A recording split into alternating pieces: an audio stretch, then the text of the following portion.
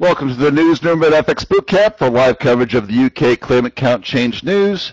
Let me remind you the purpose of FX Bootcamp is education. This is not an alert service. The currency coaches at FX Bootcamp do not make trade recommendations, but we do provide real-time technical and fundamental analysis at least 14 hours each trading day, sometimes longer when there's major news like this.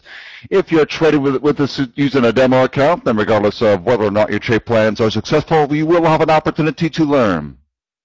Remember that investing in trading is risky business and Forex you use some leverage, but do not overdo it. As a novice trader, the leverage can work for you, but often it works against you. So please do not risk money you cannot afford to lose. First thing I can't help but notice when I look at the, you know, before we even uh, talk about some uh, some of the things related to the news, is uh, relative strength analysis. Relative strength analysis. Maybe just me, but just looking at this glance of um, these three, uh, oops, my, my uh, drawing tools got out of hand there. Let me try it again. I'm looking at these three pairs in the top row here, from left to right, Euro USD, Pound Dollar, Aussie USD. Maybe just me, but it seems like the British Pound's a little bit on the strong side relative to the, to the Euro. And no question, the Aussie is weak. Definitely weak Aussie. But the Aussie is not, I don't expect the Aussie to do anything meaningful in response to this UK news. But the uh, what seems to be at least a, a slightly firmer British pound is uh, worth noting. We had a situation yesterday, you might recall. British pound had been on the firm side yesterday as well. I want to confirm that with a look at the British pound pairs, including particularly the euro pound, which is my favorite gauge for uh, assessing strength of the British pound. Sure enough, you can see on the upper left-hand portion of this view, there's your euro pound 15-minute chart. Euro pound down. Look at the other pound pairs. We know pound dollar's up, dollar weak. That's uh, a big part of the reason why the pound dollar's up. But pound Aussie also up, pound yen up, pound Swissy up, pound CAD up. You get the uh, you get the picture there. We've got a strong British pound. I'll tell you right now. I'll tell you right. We got news coming out in uh, a little more than 10 minutes. I'll tell you right now. Um, when it comes to the response to this news, uh, the response to the news, even when they've been significant, even when we've seen spikes of uh, maybe like 50 or 60 pips, it's been like a one and done response to uh, this news. That's been the historical standard over the past, you know, at least year. And let me give you an example of that on the uh, on pound dollar. And in fact, actually, I'm going to I'm going to uh, change tack here. I'm going to show you the, the historical data first, and then apply the historical data, data in the context of uh, today's price action, particularly on the uh, pound dollar.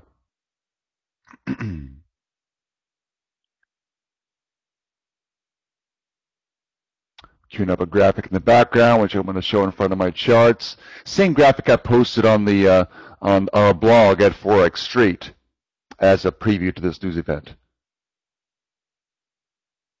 Here it is. Now, for most of you are going to be interested in the, in the top two graphs.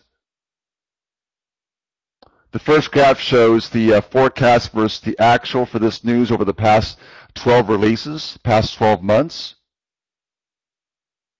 And, uh, and this is the case where, uh, this news is the case where the higher the number is, the, the worse it, it, it, it uh, portrays the uh, labor market in the UK, meaning it's, it's usually a British pound negative. So for example, uh, look at the um, notably higher than expected figure we had on the August 17th release from last year and the spike down on pound on the pound dollar currency pair.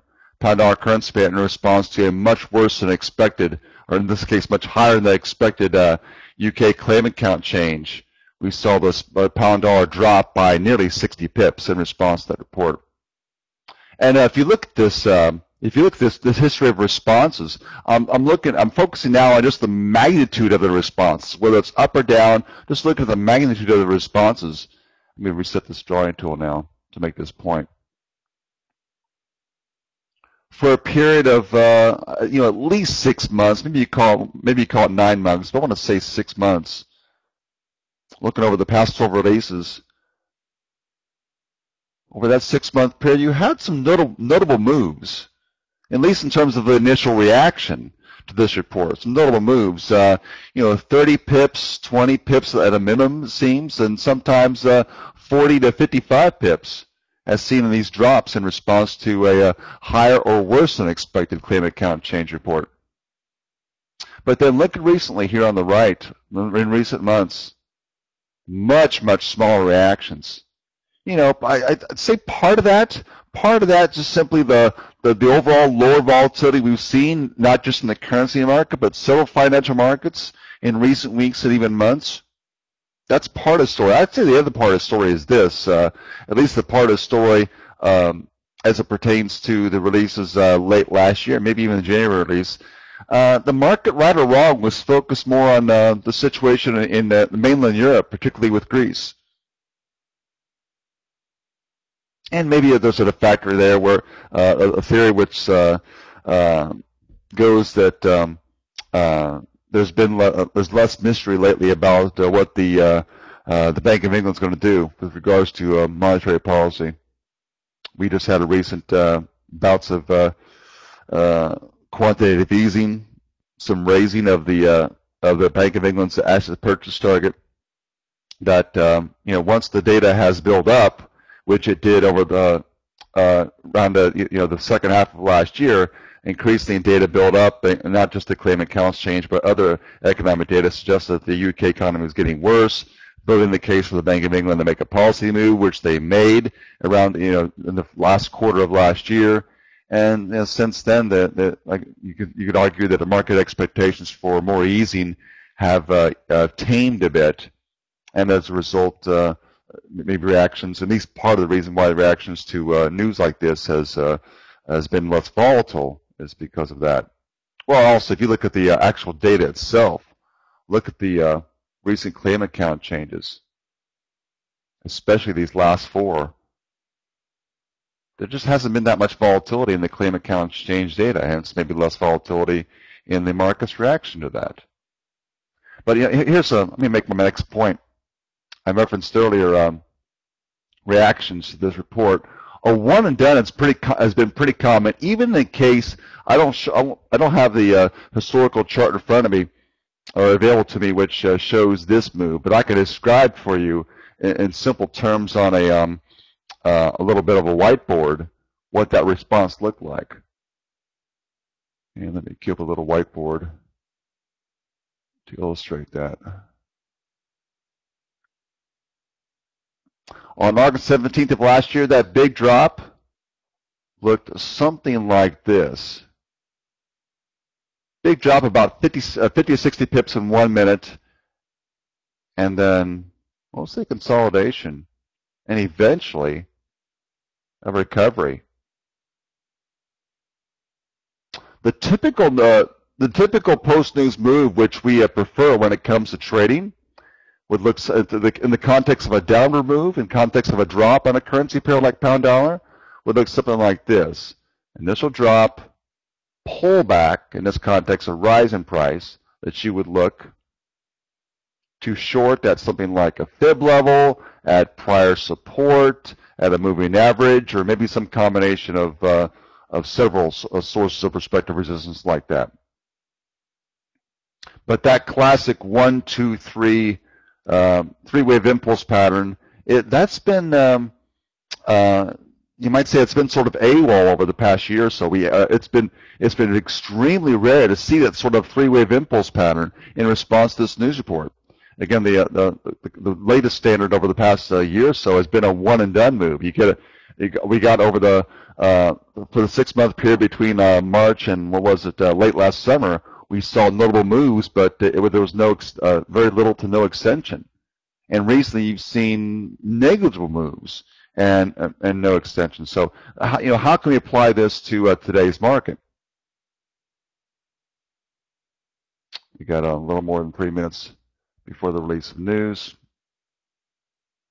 Let me get uh, this graphic out of the way. You know, so what, what if, for example, if we got a higher than expected number from this count change uh, data, this, the, the headline number was higher than expected, that might prompt, let me expand the chart for the pound dollar here, that might prompt a bit of a sell-off in, in pound dollar. And of course, a sell-off would mean down. But that sell-off, especially given the given the history of uh, a lack of fall-through on post-news moves, that sell-off could present for British pound for cable bulls a buying opportunity. In other words, the market may choose to fade that response to news. And by the way, I, I just I, I depicted the bounce where I did because you know look at this historical price action here about 1 1.5710 ish that was resistance um, late yesterday before today's Asian session got going and seems to have been recent support.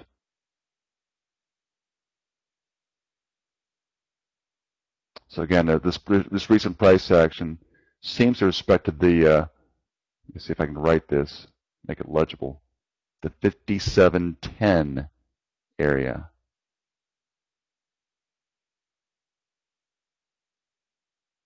Well, if you whip out a fib study, which I'm working on now, of the move up from today's low.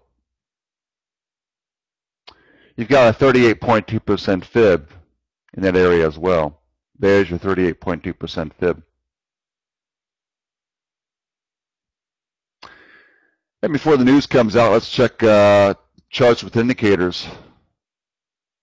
See what else we've got going. Oh, but by the way, before uh, before I even go to that, I'm sure you've some of you've already noticed we've topped out thus far in the vicinity of yesterday's highs. So safe to say we've got resistance around the 1.5740 to 45 area. Notice today's bounce around around London Open, around 5660, 5660 area, as I've mentioned before, has been important.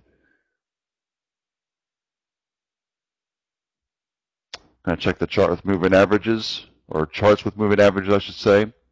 News out in uh, less than a minute.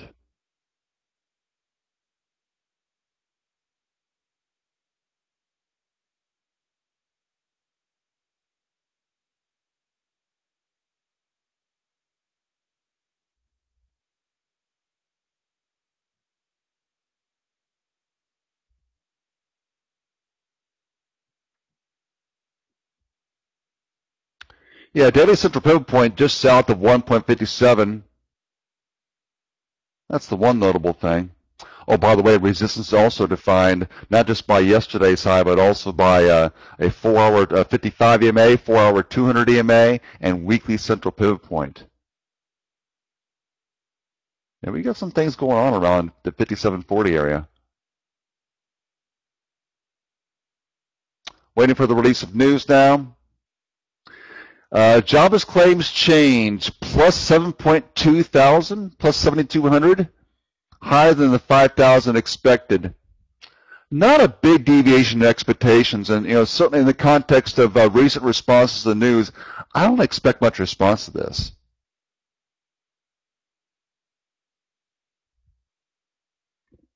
Let me take you back really quick to the uh, historical uh, claimant count change, actual versus expected.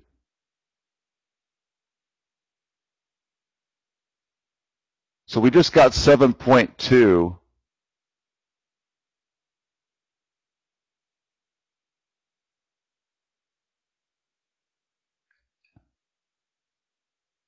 And uh, that looks something like this.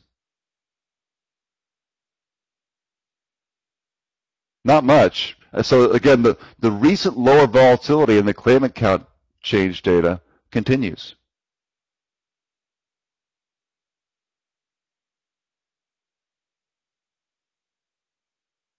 So the implication, as, uh, as Jaime has already mentioned in our newsroom, the implication is that um, we could see a, uh, we're seeing thus far limited response, but uh, we, we, are maybe a response building here. But let's let's put this uh, the current uh, red on the 15-minute candle on pound dollar. Let's put this in context. Let's see what the dollar is doing against other major currencies.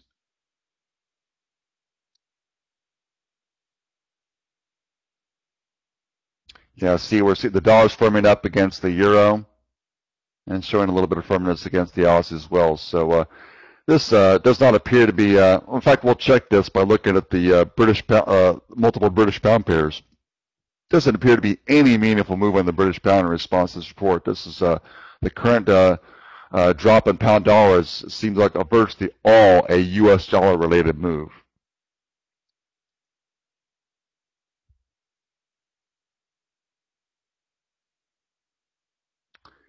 Yeah, I, I, am not seeing a whole lot here. Again, the euro pound is uh, is ri- has been rising of late, and it's rising a little more. But I don't see a whole lot of uh, broad uh, British pound weakness in response to the report, which, if anything, if anything, would suggest at least some British pound weakness. Remember, again, higher jobless claims changes, uh, higher than expected change in jobless claims from one month to the next would suggest, if anything, a weaker British pound.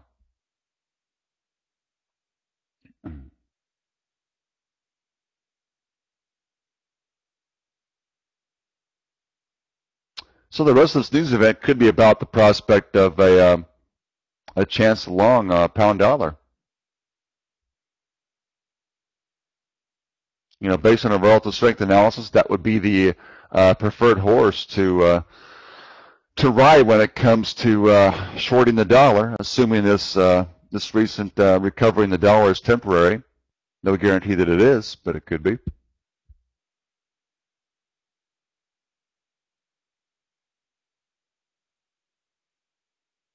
Jaime, I just saw your question about uh, is this a big mover? I, I hope in my uh, pre-news analysis I uh, sufficiently answered your question about that.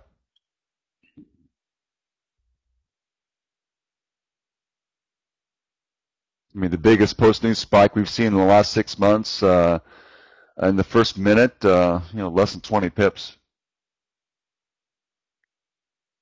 And that's certainly kind of showing to be the case again uh, today.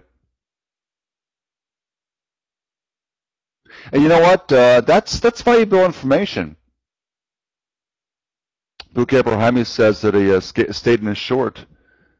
They took before the news. Uh, it's it's um, even if you're not looking to trade the news, knowing the, the recent history of a news report, not just the uh, uh, the market's response to such a report, but the report's uh, uh, historical figures themselves, um, you know, that can be valuable information to help you manage or, or assess uh, or manage a current trade or, or, assess the prospects of a new trade. A new trade, which in some instances may be may materialize, uh, you know, within minutes of news.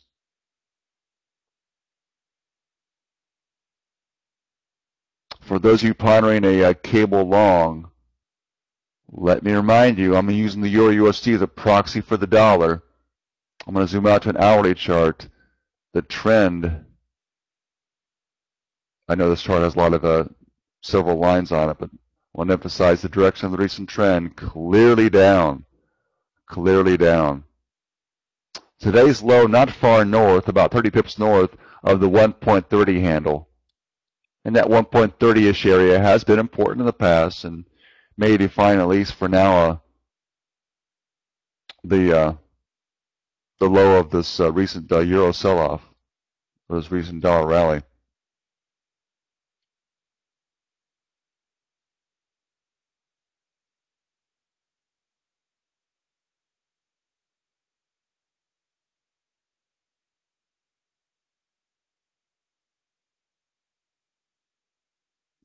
So that would be my word of caution to the uh, cable bulls. We're back at 157.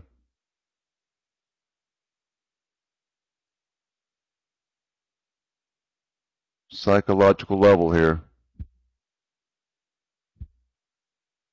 Let me look at a chart with indicators. You know, given this recent rally in the dollar, this recent recovery in the U.S. dollar against multiple major currencies, look, look particularly at uh, oil futures. Oil futures, a notable return back to today's lows we haven't seen perfect correlation with oil between oil futures and say the euro USD or gold, but uh, these are notable moves. These are notable moves. Uh, gold making new lows for the day as well.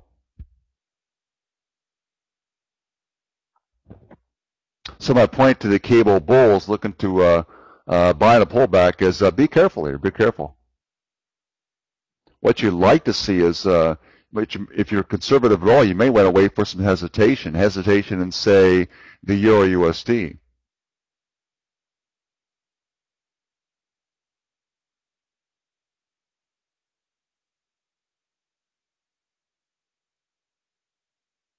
And it seems, looking at the chart for the Euro USD, you know, if we're going to hesitate, if the Euro is going to establish a higher low relative to today's low here, this may be one area where it does. And seems some signs of hesitation around this 1.3050 zone, this uh, midpoint psychological level. So what you're hoping for if you're a US dollar bear more specifically a cable a pair, cable referring to the pound dollar currency pair, you'd like to see this. A pause here, maybe a little choppiness, and then eventually move up. Or another example, bounce, higher low, continuation.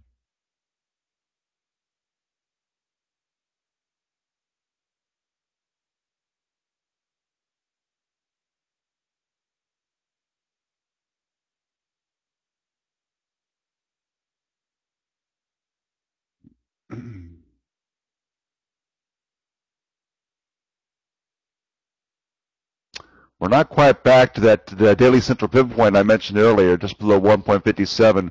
There's also, it's worth noting, there's also a, a daily, a daily, an hourly 5 EMA parked just above that uh, daily central pivot point. Both prospective sources of support. Worth noting for those of you who prefer to trade in the direction of stochastics, 15 minute stochastics, not buyer friendly. More seller friendly, if anything, but uh, you do have hourly stochastics working in your favor, and certainly daily stokes. I'm looking at a one minute chart.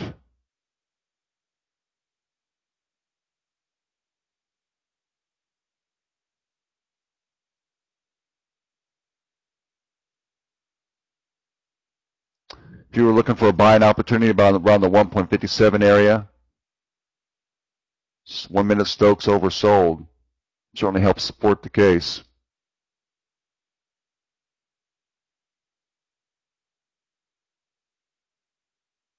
I certainly don't recommend doing a whatever one minute stochastics tell you. That indicator is uh, you know, all over the place. Uh, overbought, oversold, overbought, oversold.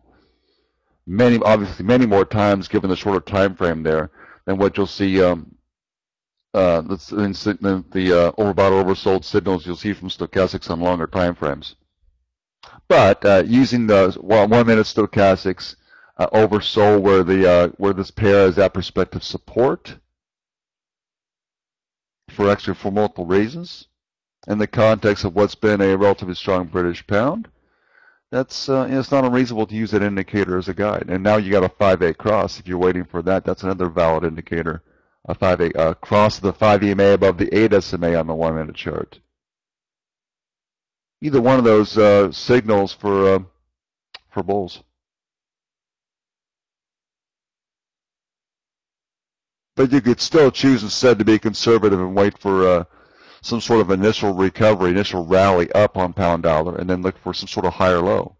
Now, given the relative strength of the British pound, there's a real decent possibility you may not get that second chance. So these are the things as a trader you have to contend with.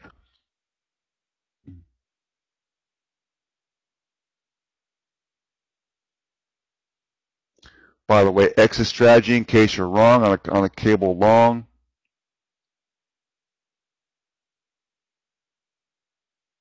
Simple one can be based on the that Fibonacci study we talked about earlier.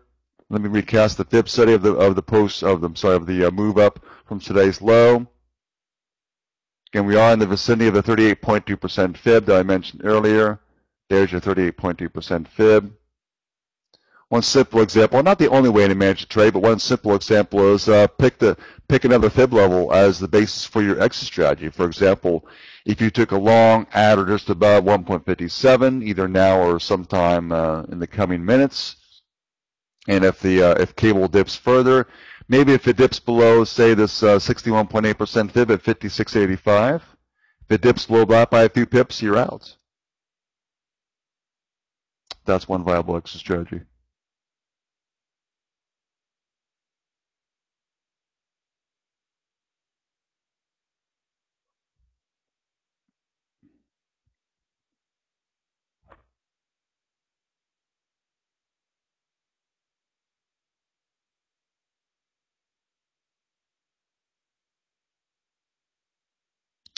I'm looking at other prospective sources of support. I do see one that's a little more obscure.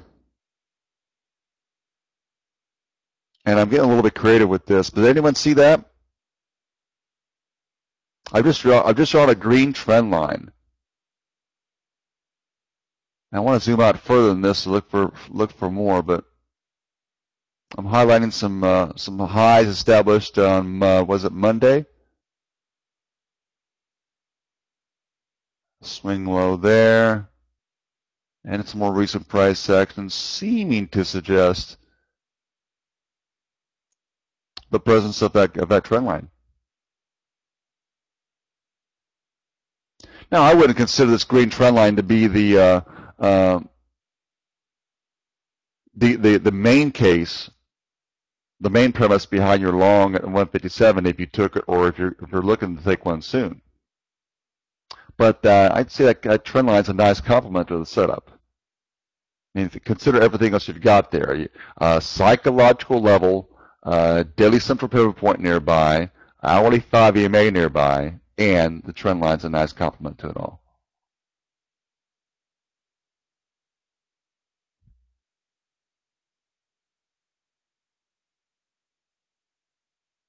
And by the way, that same trend line, for those of you who shorted cable, uh, that's another concern. I mean, certainly a, a, trend line that could be broken if there's enough uh, demand for the dollar, which seems to be what's uh, the driving factor behind this recent drop.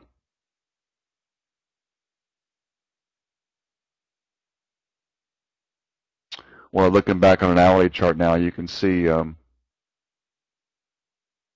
what about a week ago, maybe more. This 157 area has uh, proven its mettle as either support or resistance.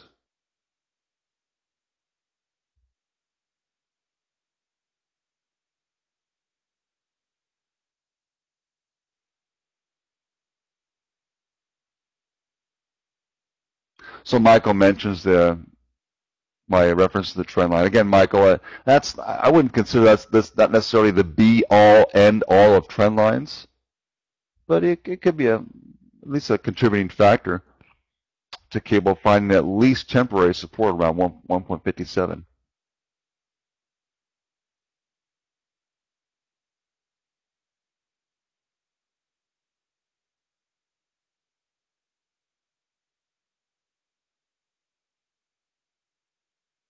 Let's go back to my market overview, uh, looking at uh, multiple um, um, USD pairs. I mentioned earlier that 1.3050 area for the euro. The euro has seemed to stall there. I'm looking at a five-minute chart for the euro in the upper left-hand portion of this view. Uh, that's so far as uh, good news for you cable bulls. But be careful here. There's been uh, there's been no meaningful reaction, no meaningful balance uh, to, to speak of at the 157 level. We're below 157 now. In other words, I'm seeing across the board the dollar still firming up against other major currencies.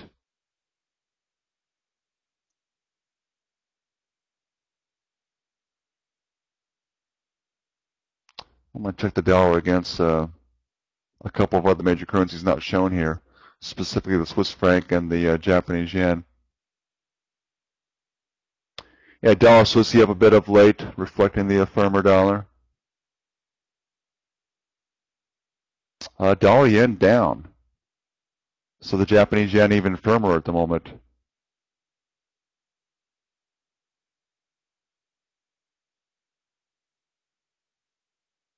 Could see a bit of role reversal there on dollar yen.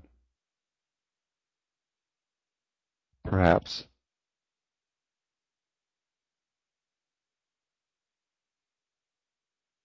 I consider the dollar yen a decent proxy. Not every day, but often enough for the um, for the Japanese yen. Just a real quick look at the yen crosses before I get back to cable.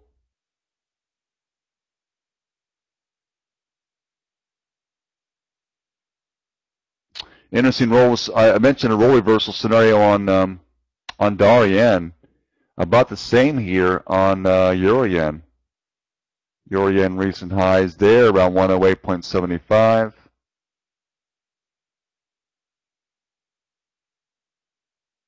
What was resistance earlier could become support. Also looks like a roughly, roughly a 50% fib of the move from the number one point to the number two point. Maybe closer to 38.2% fib, but it's somewhere in around 38.2% to 50% Fibonacci retracement level there.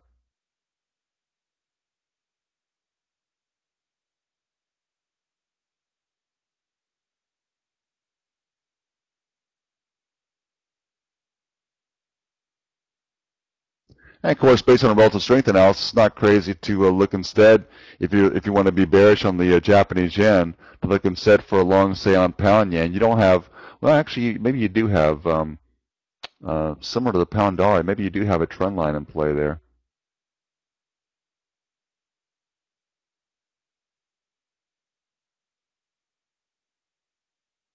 Maybe not quite as convincing of a case for a trend line, but uh, plausible plausible.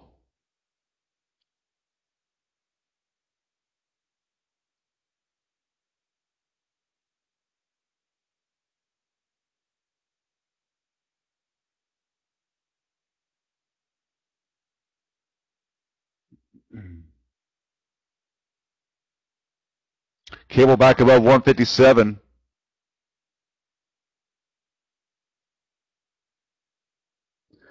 Maybe a modest concern. I don't think it's a showstopper yet. On the 15-minute chart, I see a hint of a cross of the 5 EMA below the 8 SMA. The 5 EMA is the maroon colored line, 8 SMA the currently upper sloping black line.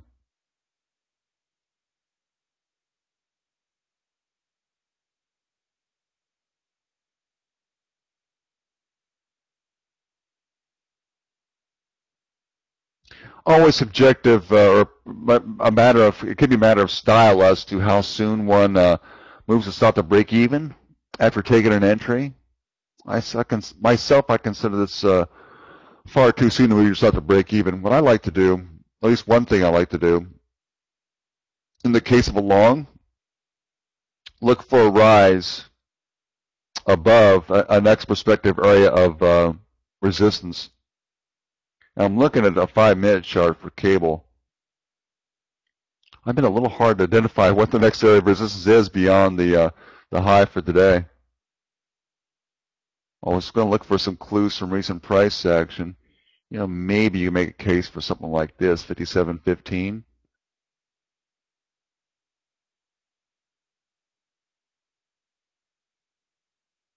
Yeah, just based on that, uh, one, one option is in terms of uh, uh, managing the trade. If we get to say, let me use a different color drawing tool. And Michael, I see your question. I'll get to that in a moment. If we get to say, I don't know, here, close to 57.20, you can either move your stop to break even then, or or at least park your stop uh, just below this recent low.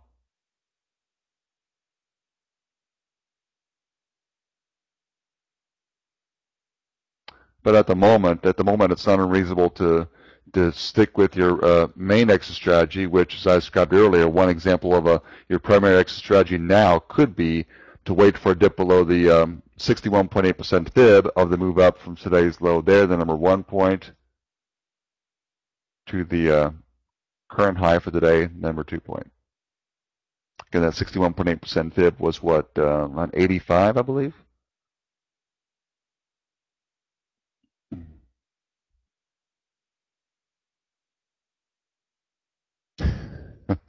Michael, you got a lot going on there. You're talking about move fib and swing fib. Uh, Michael, I don't. Uh, I'll be honest with you, I don't use such terminology. I'm not saying it's wrong. It's just not in my uh, not in my vocabulary. So uh, you got to speak me in, in plain English, Brew. What's your definition in this context of move fib versus swing fib?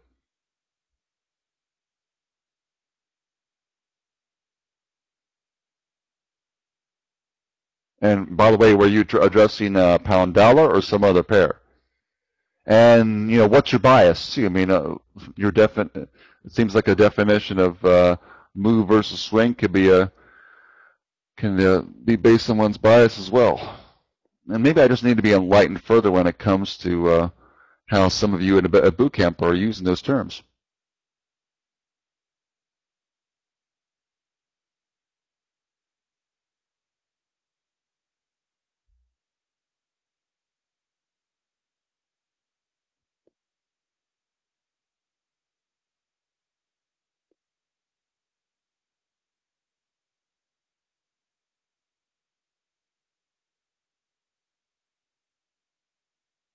Well, folks, to be clear, the uh, the real story here, and it's been the real story ever uh, since like moments after the release of the claimant count change news.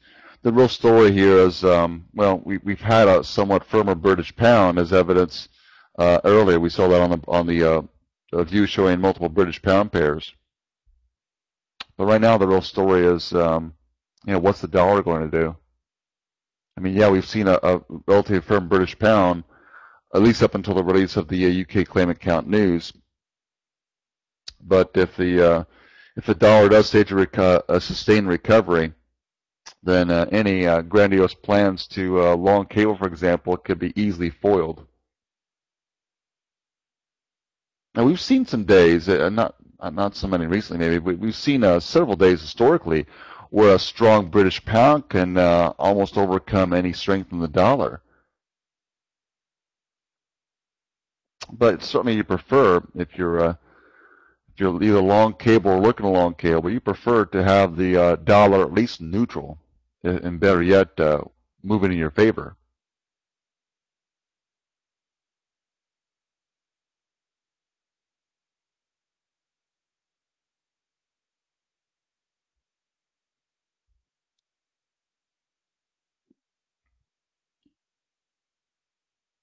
We'll go back to my market overview and uh, check the. Um,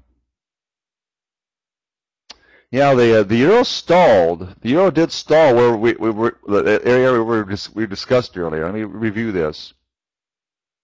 I showed you a five minute chart earlier, and we talked about. I'll show you some hints here. We talked about this uh, 1.3050 zone, the 1.3050 about right there. Not my best horizontal line, but you get the idea.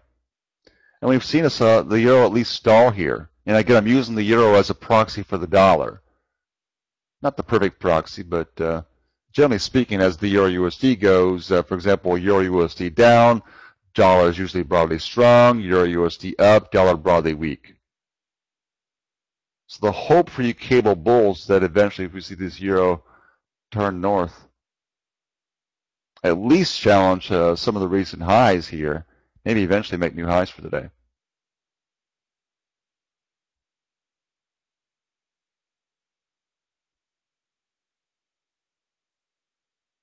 Yeah, surely. I, what I said was uh, several months ago. Let me review that, Shirley. Let me cover that again. So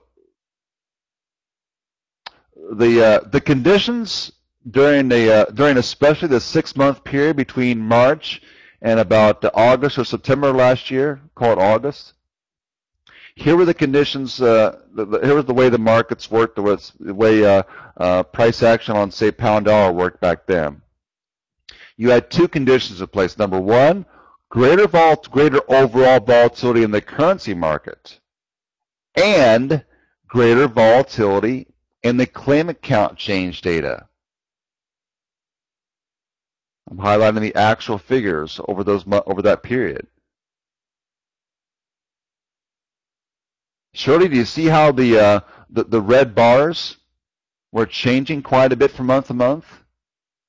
Now compare that to recent months where there's just not that much change, not that much relative change in the claimant count data.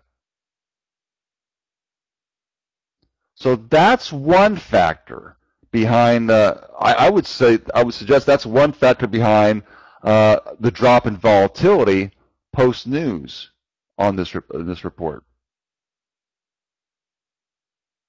And by the way, consider that. Uh, does anyone remember what was happening in August when we saw that 50 plus pip spike down on cable?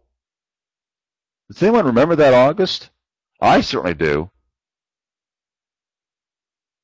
In fact, I was uh, I was sending uh, the the other uh, coaches at boot camp emails about uh, uh, price action in other financial markets, particularly the DAX, Germany's blue chip stock market index. We saw we were watching. Um, uh, boy, the the government bond markets in Europe, especially in the southern periphery, was going bonkers. Lots of interaction, or lots of um, I should say, action by the ECB and the government bond buying program, the securities markets program. I mean, there was a lot of volatility in, in financial markets, a lot of uh, heightened and renewed concerns about the sovereign debt situation in Europe at that time. So, Shirley, do you understand? I mean, I, I, what I portrayed for you before the news was the extreme, extreme conditions. You know, the, the, some of the uh, uh, you, uh, the outlier situations that can occur in response to this news. I did not say, I did not say explicitly that there will be a 50 pip move down, uh, a 50 pip move down in response to worse than expected news. I said there has been in the past, but consider the context of the overall market back then. Yeah, maybe I need to be more, uh, be more, uh, uh, be clear in my explanation. I, I thought I thought from the uh, from my from the combination of my explanation and the uh, data shown here that that was uh, um, that that was understood. But uh, your your feedback is helpful. Maybe I can be more explicit in my uh, explanation. Yeah, I'll, I'll, I'll make this point in in discussions of future news releases, not just this report but other reports that you know when when I look at historical data like this, I'm only showing the example of what can happen. Again, I'm not saying that if we get a worse expected number, that cable's going to spike or spike down 50 pips. I'm saying in, in the right conditions, it has in the past.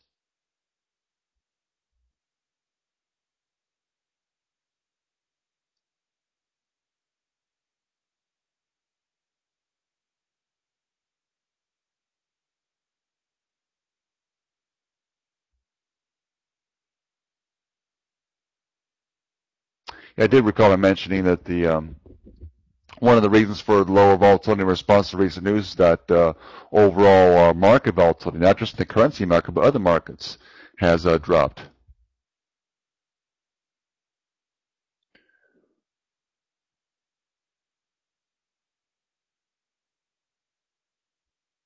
Well, my news coverage is about to come to its close. Uh, cable back at 157. Still not much of a retreat in the dollar yet.